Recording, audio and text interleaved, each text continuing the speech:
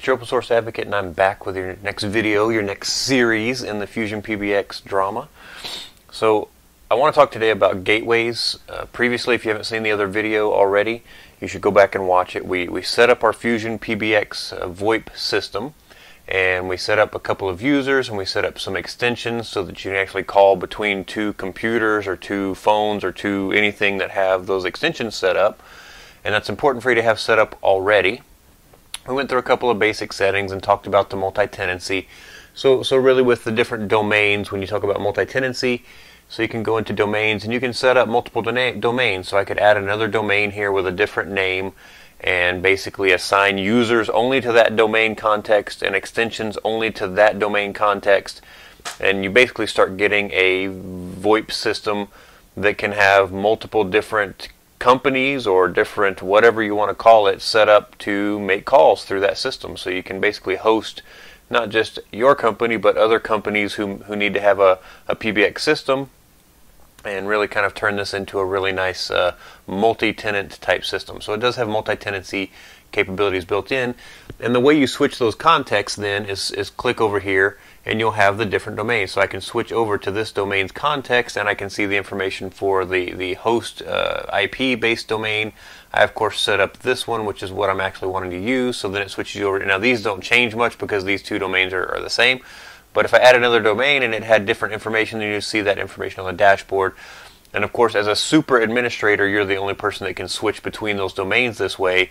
When you assign an admin or an agent or a user to a specific domain, and that's the only domain they have access to, then then they can't really switch from from here to those domains. So, pretty pretty nice setup from that perspective. Now, I know your big question is, okay, I can make calls from computer to computer or device to device as long as it's connected to some kind of internet connection and it has the extension and all that stuff. Um, but how do I make a phone call out to an actual phone number or how do I receive a phone call in from an actual phone number? So I want to go through that today. And we've got our, our test system that we set up um, and I've been practicing with this and the one thing that I found is um, with my SIP trunk, uh, the company that I use to actually get this gateway set up, if I set this one up, it messes up my, my actual normal full-time system and then neither system works.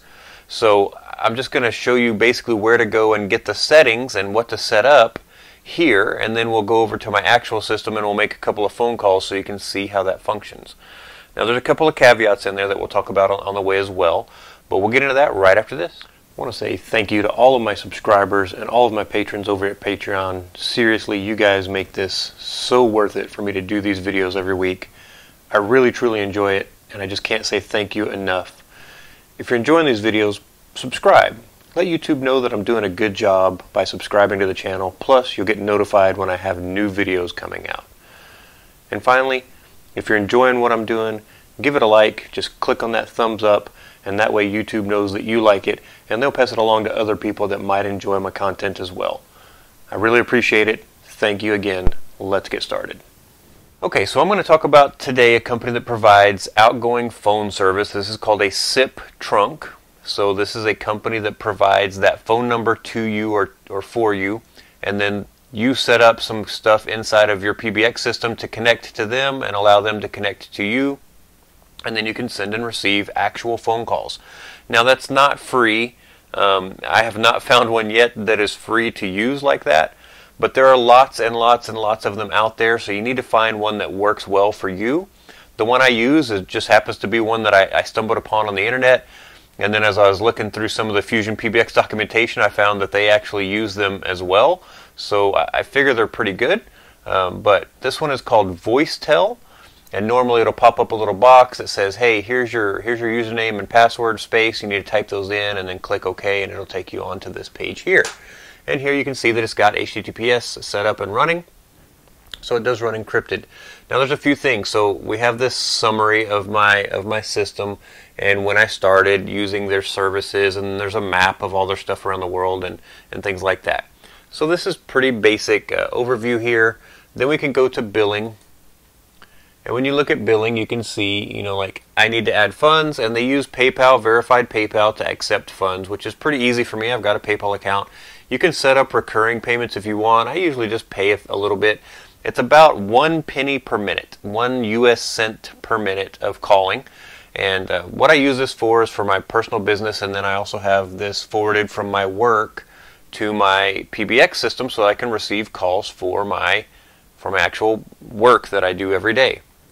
Um, they use a, a, voice PBX system, and I just told them, hey, here's a number to forward it to. I've got an office actual desk phone that I can use. I can also use soft phones, like I've shown you in other video in the other video. Um, but but you know, it kind of gives me options for receiving phone calls from work. Um, I can also then use my PBX to forward that to my cell phone if I want to, but I don't have to, and it doesn't use up my cell phone time and battery and things like that for work calls if I don't want to get work calls on my cell phone, which is great. So billing, uh, pretty straightforward. You can see your transaction history and you can see current rates if you want to if you want to know what the current rates are. So you can kind of see that stuff too. Uh, the next one is the dial-in number, and this is kind of the big part that you need to understand and look at. So when you go here, you can say, you know, I, I want to find an actual number, and then you can look for an exchange, or you can look by area code, which in, in the U.S. Is, is area code. So here, if I type in, you know, I want to go with area code, let's just say 505. That's that's the basically almost the whole state of New Mexico, uh, but also uh, Albuquerque for sure. But we can click search and we can let it start going and it's going to go and look for whatever phone numbers they have available currently with that area code. And once it finishes searching, it's going to give us a listing of available phone numbers. And you can see here the different numbers that are available. And when you find a phone number that you want, so let's just say we wanted this phone number, you can click on it. It's going to say, like, are you sure you want to purchase this phone number? And you can say yep I want to do that or no I don't want to do that and and just you know basically confirm that you want that. So I'm just going to say cancel. I don't want it right now. I've already got phone numbers set up um, but you know it, it tells you hey here they are and then here are the locations you can choose from. So that's kind of nice right? Los Alamos or I can say you know what? I want to go up here to Gallup uh, or maybe I want to come down to Santa Fe or, or you know any of those things and, and I can just pick a place that I want to have a phone number from and it'll actually give me a phone number that I can utilize for receiving and sending calls. So depending on where you are, you might be able to find a phone number that's actually local to your not only area code but to your city which could be really useful if you're a small business trying to do something in town and you just want to have a nice PBX system. So you get your DID, you buy that phone number, and then finally, the nice thing about this is they have this configs section. And right here you see Fusion PBX. And if you expand this, you'll see, and I'll have to blur out my, my, my, my information here for my username and password, but you get VoiceTel, you get username, you get password, and then you get, you know, from from user, which is basically the same as your username in this case, and then they tell you, hey, here's what you need to type in in order to get this information so that you have good data flow um, from from VoiceTel to your Fusion PBX system. And then they give you what you need for outbound rules and what you need for inbound routes, or outbound routes and inbound routes. So we'll kind of go back to the PBX and we'll look at this and uh, we'll see kind of what that looks like. All right, so when we come into our PBX system, we're going to come over here and we're going to say, all right, I need to set up a gateway. The gateway is how you get traffic in and out of your PBX system to actual phone numbers and basically VoiceTel in my case is the gateway that I want to use. So I need to set them up as a gateway. So I'm going to come into gateways.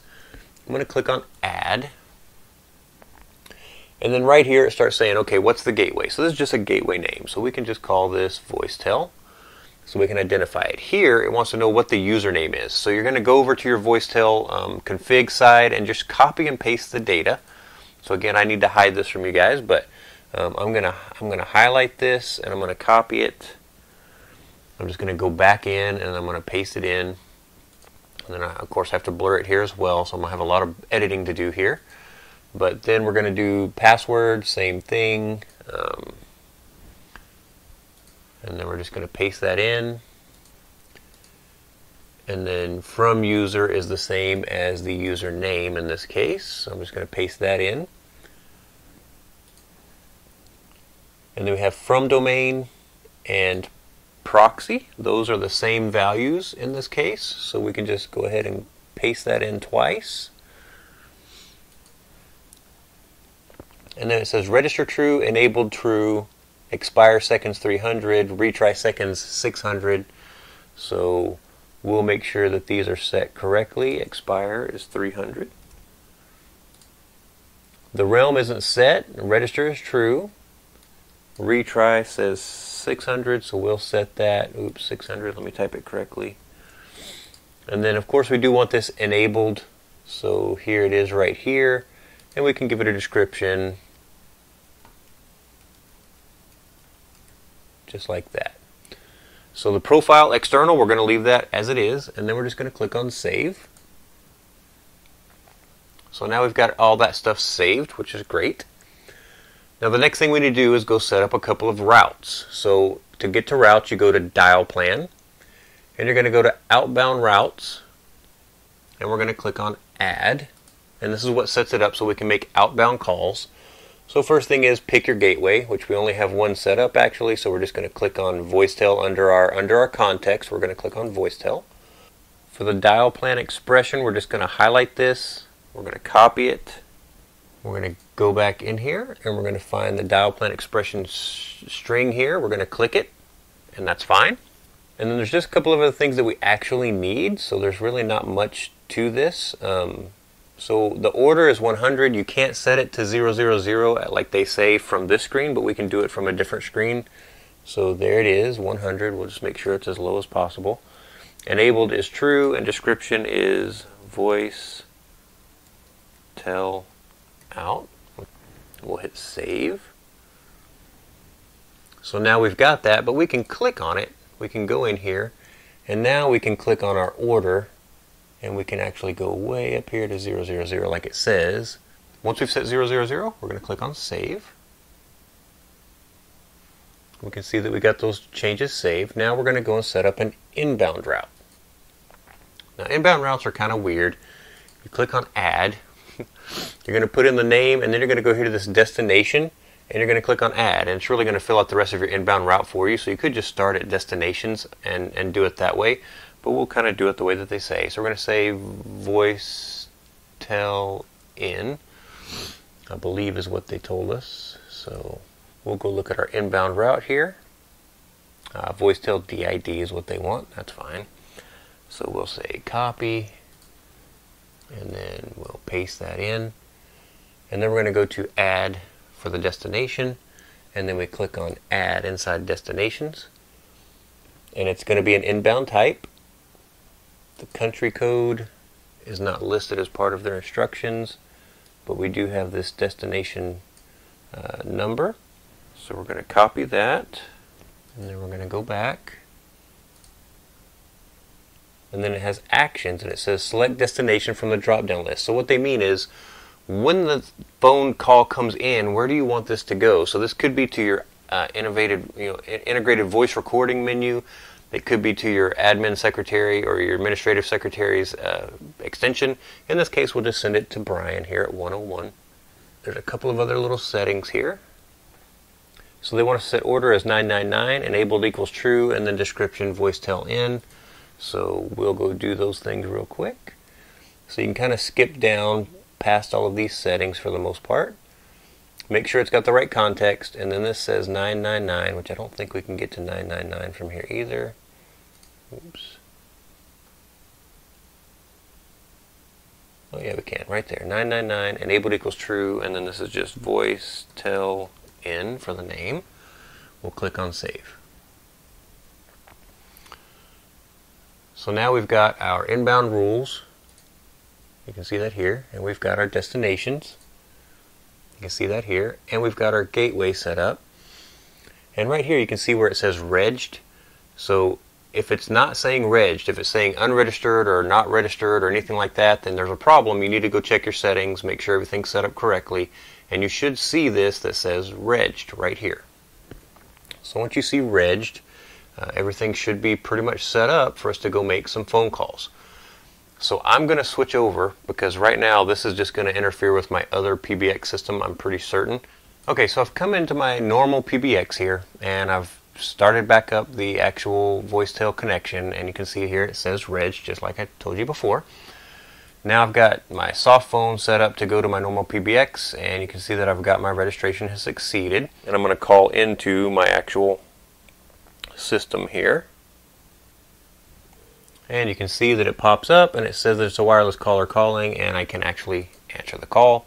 And again I'm getting phone calls now and I'm calling in from my cell phone and you guys are able to see that the call comes through. So this is all going through my PBX system. So I'm getting all the calls through my PBX system, so it just takes a little bit of setup and a little bit of time and sometimes a little bit of frustration, but it does happen. Now I want to cover a couple of caveats. I'm going to hang up that call and I'm going to get the, the, phone into the background and we'll go back into our test system over here. I had to take out the gateway and everything so I didn't have that conflict that, that you see. But VoiceTel, as far as I know, tries to send you the information to your SIP trunk um, to your gateway on port 5080, 5080. This is important because if, if you have a provider who does not send that information or does not communicate with your system on port 5080, you one might have to go open ports on your firewall. You may have to open up the ports that they specify on your firewall to allow that traffic through. You may have to go into your advanced settings and set up some rules for access control as well and you may have to add that provider's uh, domain name and IP address for access controls, basically to allow that traffic to come into your to your PBX as well. So be aware of that. Um, when you do that, you need to you may you may need to go add a secondary um, system to allow that traffic to go through. And then so so I wouldn't say I'd say don't add anything here. Don't mess with this unless you have been explicitly told you need to do this in order to allow traffic through. Um, but if you see that your provider doesn't doesn't communicate on 5080, that may be something you have to do. So be aware of those things because it can create problems um, if they don't communicate on that standard port, and it, and it does happen. And in this case, as far as I know, VoiceTel does communicate on that standard port, um, and, and I haven't had to set up anything special uh, on my system for access controls either for my for my personal PBX system, um, as you can see. So I would say just kind of cautiously move forward with those kind of settings depending on what your provider tells you. If you're not using VoiceTel, if you're using somebody else, Twilio. Um, again, there's hundreds of them out there that provide these services, so find the one that works best for you. Uh, I, I, initially said in my first video you might need a bigger system to run hundreds and hundreds of calls at once. Uh, there's a video out there that I found that the guy said, let's just find out what we can do with a Raspberry Pi 3B, and he made like a couple of hundred calls at a single time with a Raspberry Pi 3B. So if that gives you an idea of what you can actually do with these things when you know what you're doing to set them up. Um, now that was using Asterisk, I believe. I don't think it was using FreeSWITCH, but he, he really got that thing going. And these are really just amazing systems. And audio these days, when it's compressed, doesn't take up any bandwidth, so it's pretty awesome. I hope you get a lot out of this. I hope you enjoyed this. If you did, like, subscribe, tell your friends about it so they can come along the journey with us, and I'll talk to you next time.